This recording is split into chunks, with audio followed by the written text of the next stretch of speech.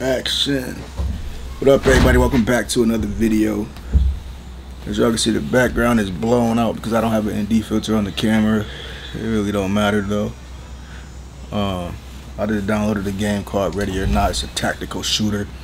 It's some like Call of Duty and all them other shoot games, but this one seems more realistic. You actually get to uh, arrest people and handcuff them and shit like that. So I think that's sweet.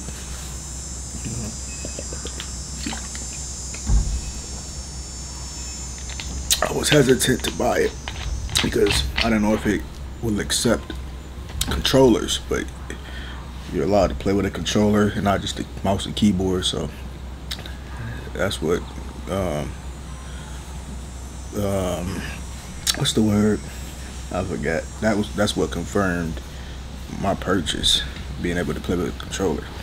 Because I do not like playing with mouse and keyboard unless it's one of them little old school computer games. Then I'll play with a mouse and keyboard. But if it's a game that like an open world game, I want to be in full control with a controller and not pushing W and Y to move up and down and all that type shit and using a mouse to turn it, you know.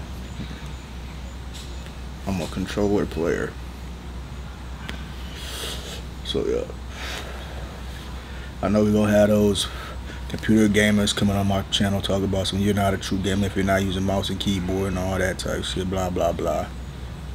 I'm a console gamer. Motherfucker. Controller. On the PC. Gamer. mm-hmm. Is that gonna kill y'all? If so, then die.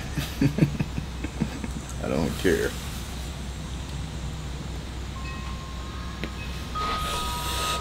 Oh, but it's way funner with a mouse and a keyboard. Blah, blah, blah, blah. What makes it fun to me is using a fucking controller. That's what makes it fun to me. You know what I'm saying?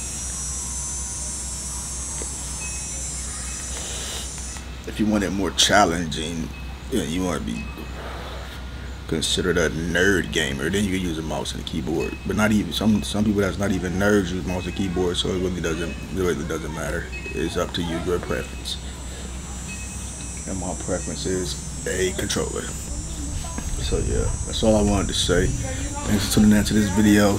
Be on the lookout for that uh, Ready or Not gameplay coming soon after it download.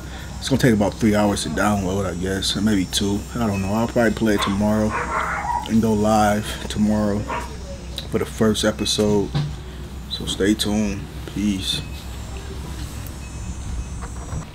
I just turned the camera around um, so I can be backlit like the, the light is coming from that angle. sun and all that shit shining from there so the footage is way better. That's just how this filming should go, y'all.